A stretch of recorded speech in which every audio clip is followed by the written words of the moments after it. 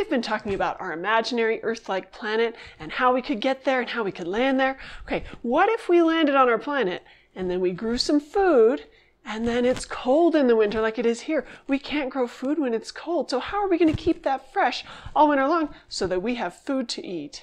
Have you ever seen how food can get moldy or start to taste or smell bad if it's been a long time?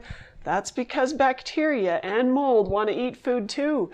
So if we want to keep our food safe from them, we need to preserve it. Preserving something means to keep it the way it is. We can't eat a whole bunch of food in the fall and get really fat and then hibernate all winter like some animals like bears do.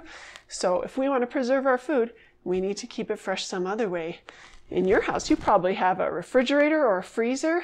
It's harder for bacteria and mold to grow in the cold of the refrigerator. And the cold of the freezer stops them from growing at all.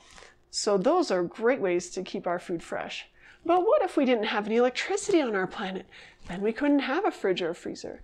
Well, a long time ago, before there were refrigerators, people used to dig cellars in the ground, and these cellars would stay cool and dry all winter long so they could keep their food fresh. We can also add things to food that bacteria and mold don't like. Hmm, some of these things are sugar, salt, and vinegar. Hmm, sugar, salt, and vinegar. That sounds like pickles. Yeah, pickles were invented as a way to keep cucumbers and other vegetables fresh. There's so much salt and vinegar that the bacteria and mold that make food go bad don't like to live there. If we add a lot of sugar to some fruit and stir it till it gets nice and thick, then we get jam. Jam is a way to keep fruits fresh way longer than they would just on their own.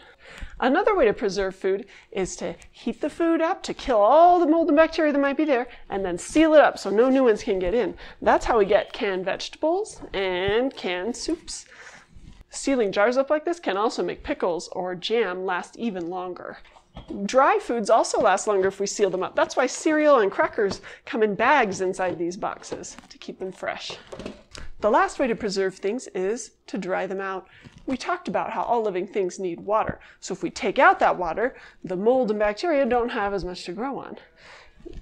Grains like rice or corn or wheat can last for years if they're dried out and sealed up, and so can things like beans.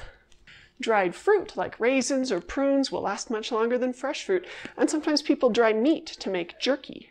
Your STEM assignment for today is to try and preserve some food. I'm going to give instructions for making dried fruit, but if you want to get with an adult and make pickles or something, that's cool too.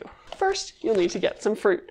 Fruits that work well include strawberries, grapes, bananas, and apples. First, you'll wash it off, make sure it's all clean.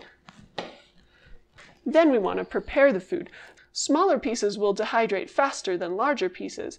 So if your fruit is like the size of a grape or bigger, cut it into thin slices so it will dry faster. If you need to use a sharp knife, ask an adult near you for help. Once we have our small pieces, we can spread them out on a plate or a tray. If you have a rack, that's even better because then the air can dry them on both sides, but if not, that's okay too. We're going to make sure none of the pieces touch each other so that they can get lots of air circulation to dry out. We want to let it dry, but we also want to protect it from birds or flies.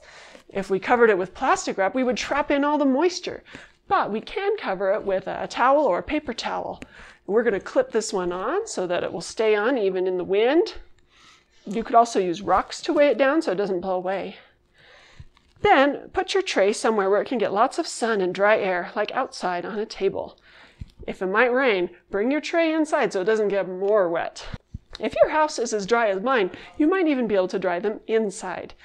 You'll need to check on your dried fruit at least once a day. If your pieces aren't dry yet, flip them over so they can dry on the other side. If any get mushy or moldy or something somehow, throw those out. But that probably won't happen.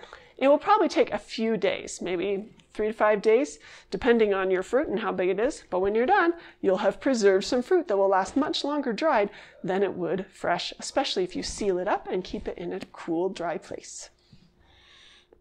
Take a picture of your preserved food, or if you can't preserve any food, then find some food that has already been preserved. Take a picture and tell how it was preserved. Is it pickled, sealed, dried, or frozen? then share that with your class. And this is my last STEM video. It's kind of sad, but also exciting because I will get to see you and be with you in your class. So I look forward to seeing you soon. But until then, stay safe, have fun, and keep making things.